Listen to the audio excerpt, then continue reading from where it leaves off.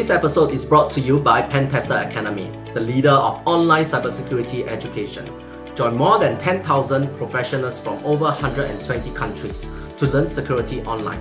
I am Damien from Pentester Academy TV, and I want to welcome you to another episode of The Toolbox, where we showcase the latest and greatest open source tools.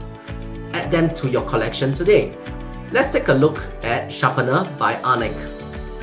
So hi, uh, my name is uh, Mahmoud and today I'm going to present uh, or showcase on how on the topic defeating EDR with Sharpener with the recent tool I just released. So this tool actually, uh, what what is all about is actually is on, more on obfuscating, encrypting, also implementing direct syscalls. So who am I? Uh, I'm a university student majoring in internet security and also play CTF and Booktroot. Also, I do play uh, some of uh, Pentester Academy uh, platform, CTF.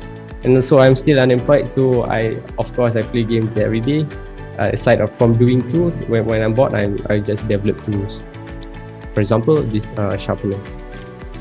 So, what is sharpener? Sharpener is actually a, a, a I can call it a payload creation framework that uh, direct syscall, also deinvoke, and also uh, it can generate in various uh, format. For example, I just recently added DLL. Uh, other than DLL is uh, .NET and also PE dropper. Okay, so this is uh, the help panel for sharpener. So let's move on. what do I target for sharpener? what is my main goals uh, to achieve uh, when I uh, develop Sharpener. So the first one is actually I want to bypass uh, signature scans from uh, of uh, Microsoft Defender and also most AV vendors. For example, most of the PE binary or any executables can be easily detected by signature. For, for example, the use of function names. So Sharpener how can Sharpener bypass this is by randomizing uh, all the function names and and also the function logic and also uh, second goal is uh, I want to bypass uh, heuristic scan uh, also or also EDR by implementing direct syscall and also manual mapping uh, in invoke library. I will I will explain more on this later. And also the second last one is stay updated and also I always keep on changing code logic because recently uh, when I push this into the public then of course uh, people will start uh, pushing it to various people and everything. And and they started to to to detect my my Morse code function. So uh, I I uh, frequently edit and update my code logic to avoid signature detection. And of course, I want to stay stealth, stealth as uh, possible. So uh, I'm going to give a what is actually Sharpener is all about.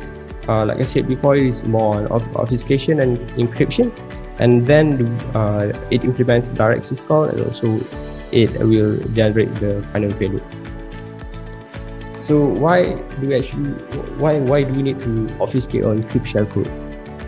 Uh, of course, we want to bypass uh, uh, AV scan for uh, because if we directly copy, like for example, base64 from uh, MSF Venom, uh, Microsoft has uh, this uh, this signature called Meterpreter, and every if it is just simply basis for uh, encoded, then it will just directly detect it as Meterpreter payload. So I just uh, I just do multiple layers of obfuscation and also uh, encryption on my shellcode. So like uh, you see on the screen is, uh, for example, the original tag is enigme and the encrypted tags in AES is actually bunch of bytes, unreadable bytes.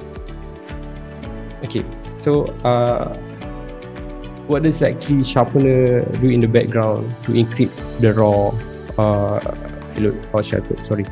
So uh, the first layer is actually uh, it does AES encrypt, and it, it actually accept uh, various format of shellcode, uh, raw shellcode, and also uh, can accept base64 shellcode and also health shellcode.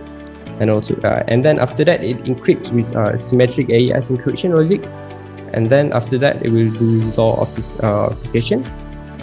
And after ZOR, I will further uh, go because ZOR is not ZOR is not in string form, is in byte form. So uh, I need to convert it to base64, uh, basic base64, and then uh, base64. Some of the uh, AV vendors still can detect uh, when the base64 is too long, then uh, they, it can be suspicious.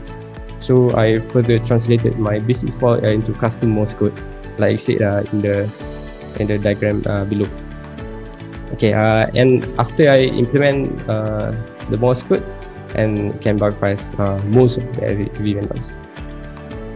And then, uh, why do I even bother to add direct syscall? Because uh, most people uh, in the industry always uh, say that uh, signature scan is not enough. Uh, I mean, you can possibly bypass. Uh, I mean, you can actually download the payload onto the disk without actually being detected. So you you have bypassed the signature scan. But once you have executed the payload, EDR can actually uh, do its stuff and know the behavior, behavioral uh, behavioral scan, behavioral detection, and it can easily kill the payload. So what is direct SQL? Direct SQL is actually a bunch of uh, undocumented Windows API uh, that can interact directly into uh, the kernel mode because EDR are just uh, most of the EDR are just uh, hooking API calls in the user mode. So instead of uh, using the user mode API call, we go we implement the undocumented Windows API that is directly interact with the kernel mode. Uh, for example, virtual allot API call. Uh, this function is actually to to uh, allocate memory space in the memory, and and then I I uh, substitute it with NT allocate virtual memory. So it, it does the same function, but different uh, API call.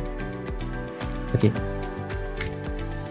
So this is the diagram actually on the uh, Windows OS architecture. As you can see, uh, the top one is the user mode, and the below one is the kernel mode. Every API call, uh, Windows, uh, as you can see, Win32 API call will uh, interact with ntdll.dll. So this part is where EDR will hook, and on the right one is actually uh, for uh, it calls um, uh, NT write file API call, and this is uh, the API call. Uh, it close to the kernel mode, so EDR mostly won't uh, uh, hook this uh, syscall direct syscall. So I this is one of the code snippet that I screenshot from uh, Alaris Alaris uh, tool. So you can see that it implements direct syscall.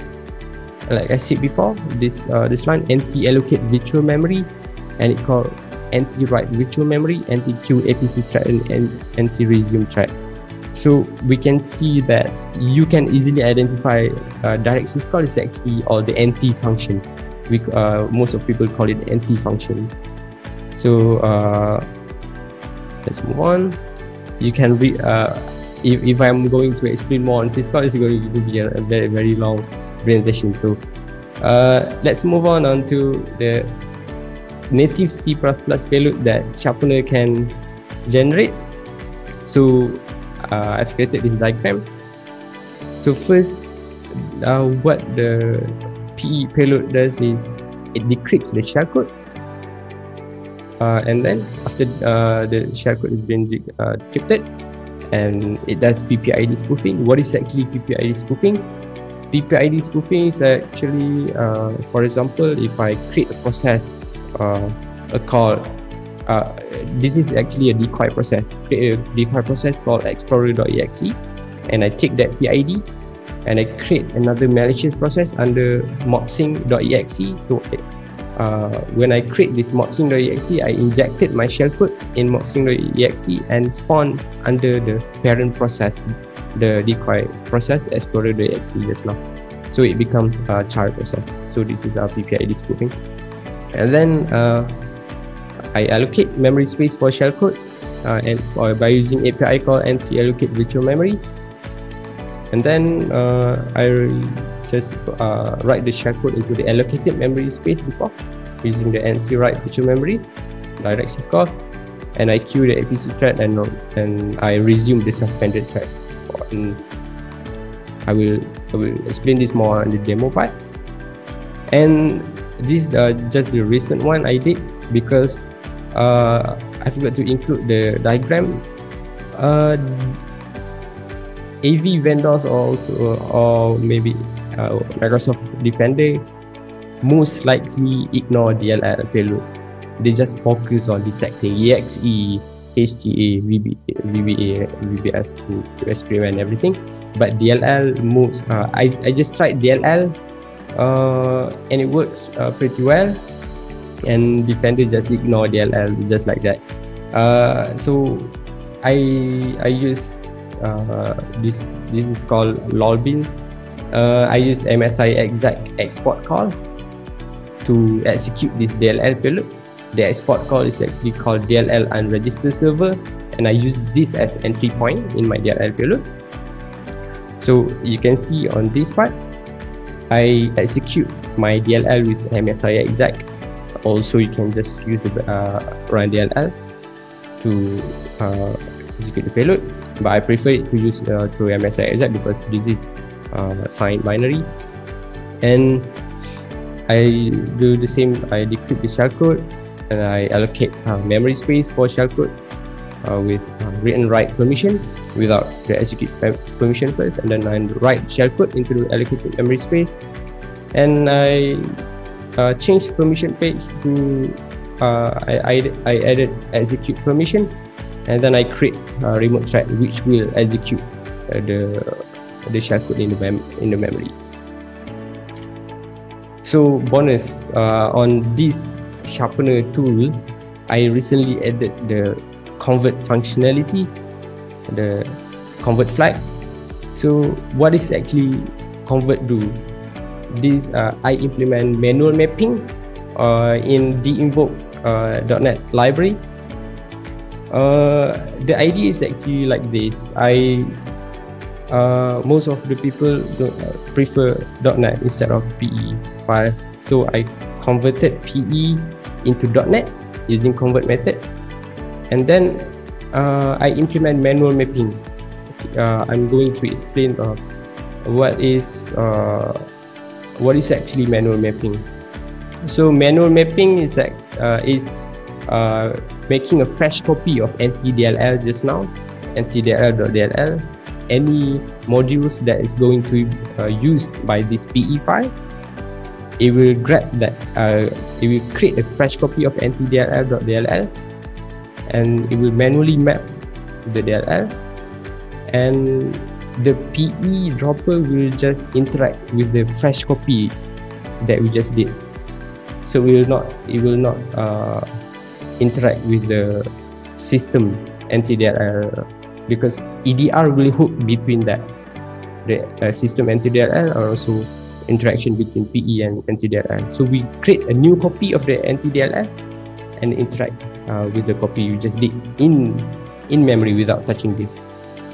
So why do I even implement this? I uh, I want to load assembly reflectively uh, using the execute assembly. For example, in in uh, in Cobalt Strike, you can use execute assembly function, which will you can you can loop assembly reflectively, and of course, uh, obsessive. We want to always uh, execute payload uh, from memory without even touching the disk. Uh, so before I move on to to the demo part, I'm going to give uh, credits to Outflanks on article, great, great article on direct syscall and also Sharpsploit.net library and uh, Alaris that helped me a lot, and also my friends that uh, helped me throughout the project. So I guess we can move to uh, my demo file.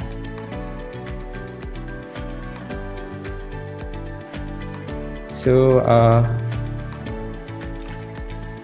just create a simple payload uh, for using MSF Venom. I create a payload that will spawn calculator. So I will just click in base64. So I can copy this payload. This payload I can confirm 100% if you just copy directly into the payload, it will get detected by antivirus. And let's create a file called file.base64 or I can do call.base64. Let's paste the shellcode in and if I call okay, uh, by the way, if you can see uh, on the right side, I, I turn on the uh, real-time protection, the uh, AV, just to prove that I, I do not play dirty. okay, uh, so you can see that you can do this sharpener and call the shellcode file, and you can use uh, can uh, generate in C++, uh, C sharp payload or DLL. So in this um, in this demo, I'm going to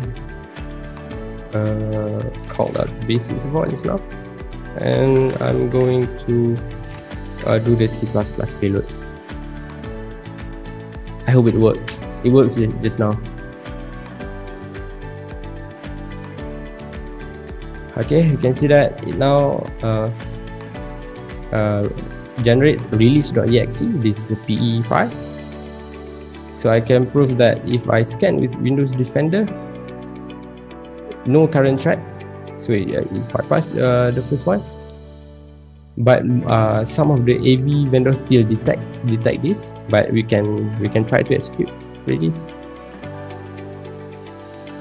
it's one uh, cal calculator okay. So uh, if I scan with uh, uh, online scanner AV scanner re, uh, this PE file we just uh, some of them still detects this PE dropper.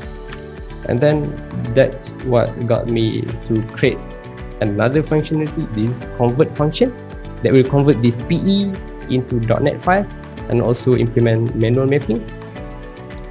Uh, so you can do release.exe. It will convert, uh, will embed the release.exe into a new file called dinvoke release.exe and I can scan it one more time. See uh, no current tracks on Windows Defender. And we can call we can try to execute the invoke uh, this uh, will take uh, quite some time because it, is currently manually mapping the NTDLL okay so we can see that uh, calculator is on so I guess uh, that is all from my demo. Thank you, Anik, for your presentation and demo that you have presented earlier. You know, uh, I do have a few questions before we end off the sessions. Um, I think uh, one of the question I think is a personal question from me. Uh, you showed you you say that you can bypass the online, you know, AV antivirus will you be able to showcase that? Because I, I think probably you might miss out during your Oh, sure, sure. Uh, I, can, I can do that. I will share my screen first. Okay, thank you. Okay, uh, I normally use this uh, site called uh, antiscan.me uh, because uh, people advise me to do so to scan here instead of just go directly to VirusFilter. So uh, previously generated file called the invoke release uh, I'll try to create another file called uh, just take the previous calculator with shellcode and I will try to create various uh, payload.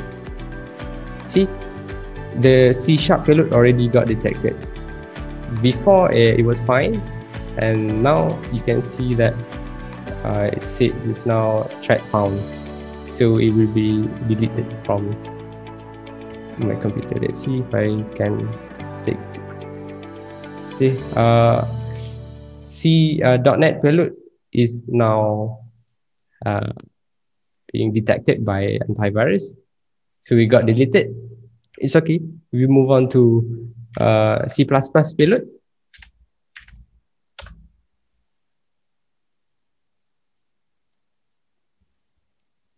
One second. Okay, C++ called config.exe. Actually, Sharpener will just randomize uh, legit look look like uh, name, config, release, and every and so on. So if I try to scan this config.exe, this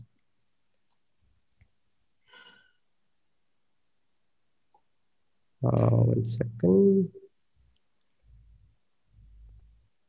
There there's three uh, still three uh, AV vendors that can still detect this as malware, as Trojan downloader, and also Windows 10 Defender also detect uh, this as meshes. So uh, I'm quite sensitive when Windows 10 Defender detect uh, my payload, so I added uh, another function called convert just now, like like I did. So I just convert this config.exe So I've convert this using Sharpsploit module and the file is called the invoke config. Let's try to upload it once again.